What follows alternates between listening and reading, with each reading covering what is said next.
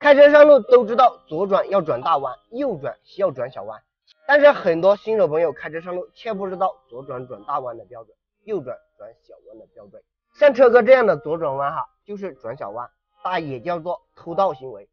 很容易哈引发交通事故。就算没有发生交通事故哈，也很容易吓对方一跳。那么在红绿灯路口转弯时，很多朋友哈。咱们的这个车头才越过了咱们的这个停止线，就着急忙慌的打方向盘，就算打的不大，打的很小，但是咱们转过来以后啊，大班可以看一下，如果幅度过小啊，很容易撞到对面的车或者是咱们的对向车道，这个哈就是咱们的这个弯度转小了。那么我们开车上路左转转大弯的标准，一定哈是把我们的车尽量往前开，一定要。把我们的这个对向车道的中心线做参考线，引擎盖盖住了这条线以后，我们再打轮，这个哈就是咱们的转大弯的标准，不偷盗哈才能避免刮蹭。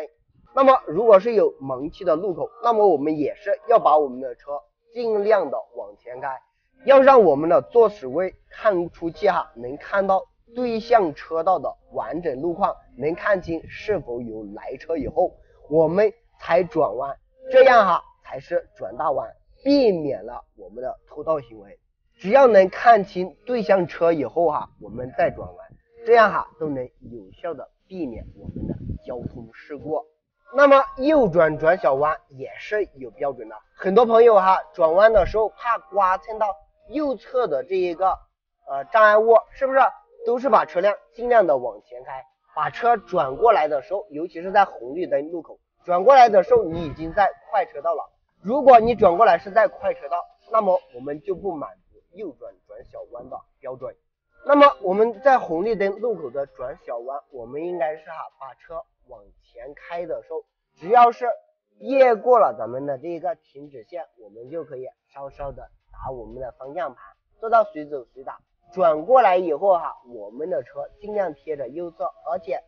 转过来以后啊，我们的车是在慢车道，这样哈才能满足右转转小弯，同时哈能避免交通事故的发生。那如果是盲区比较大的路口，我们需要右转，做到小转弯哈，一定要把车尽量往前开。如果到前面有道路中心线，引擎盖盖住哈，